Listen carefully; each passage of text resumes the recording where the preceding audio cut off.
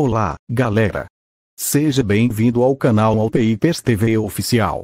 No vídeo de hoje respondo, será que o Motorola Moto G100 tem certificação IP68? E a resposta é, não. O Moto G100 não tem certificação IP68 infelizmente.